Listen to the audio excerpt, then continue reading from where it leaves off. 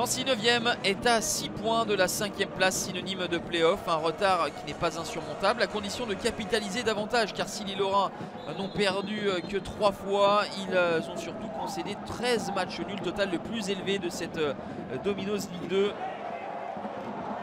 Nancy bien lancé dans cette partie après 14 minutes de jeu. Dorian Bertrand ouvre le score. Remise de la tête euh, bien sentie euh, d'El Kaoutari suite à, ce ballon de, de, Neri dans la boîte. Ça fait donc 1-0 pour euh, les, les, Nancéens grâce à la première réalisation de Dorian Bertrand, l'ancien joueur de, Béziers. Opportunité importante pour l'ASM, pour les Sochaliens qui vont avoir à, plusieurs reprises des occasions d'égaliser. On reste à 1-0 à la pause pour la SNL. Nancy qui est la seule équipe de Domino's Ligue 2 invaincue à domicile euh, depuis euh, le début du championnat.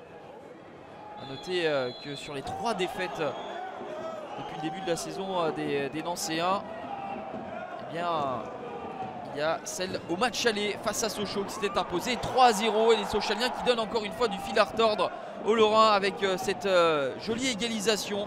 La remise d'Amadou Ndiaye pour Abdoulaye Sané. La combinaison entre les Sénégalais et le huitième but d'Abdoulaye Sané à un quart d'heure de la fin. Frappe euh, limpide hors de portée de Baptiste Valette. Sochaux sans hardi et les hommes d'Omar Daf qui poussent. Valette est obligé de s'employer.